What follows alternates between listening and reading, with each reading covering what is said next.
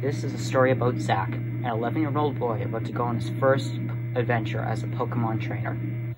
He was very innocent and had his whole life ahead of him. It was a bright and sunny morning in the Alola region. Zach woke up to his mother calling him from downstairs. Zach ran downstairs where he saw his mom with his breakfast. He sat down across the table and promptly began eating his breakfast. Thanks, Mom, he said with a mouthful of food. You're welcome, honey, his mom replied. Zach finished his breakfast. His mom kissed him on the forehead and said, Bye, love you, honey. Remember not to go too far out on the beach. She had told him this every day before she went to work. As Zach loved playing on the beach. As soon as his mom left the house, he ran towards the beach that his house faced out onto. Zach loved the feeling of the sand between his toes, fresh ocean breeze, the occasional Pokemon that would pass by him. He sat by the water as ocean waves tickled his feet. He had the beach all to himself. Suddenly, he began to feel the sand beneath him shift. It felt like quicksand. Soon enough, his entire body was hidden under the sand except for his head. He couldn't move. He felt the sand get taking form around his head. Zach was trapped. He realized he was trapped inside of a Palossand. He tried to scream for help, but the sand filled his mouth, gagging him. Zach waited in hopes that someone would see him inside the Palossand. He waited for hours. No one came. No one would find him. He wanted out, but he couldn't move. The weight of the sand crushed his limbs. Days went by. Every time the Palossand opened its mouth, the air stung his throat. He missed his mom. He missed his life. For weeks, he sat there.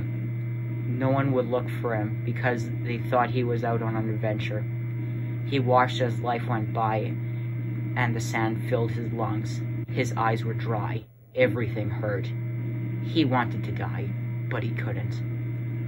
Over time, Zach's mind began to deteriorate. He started talking to himself. He talked with himself so much that he didn't even notice when he was hearing other voices in his head that weren't his own. He delved further and further into insanity with the voices in his head. Through the voices and his agony, he began to feel movement. He could move between the screaming voices and the unbearable pain, he clawed his way out from under the sand.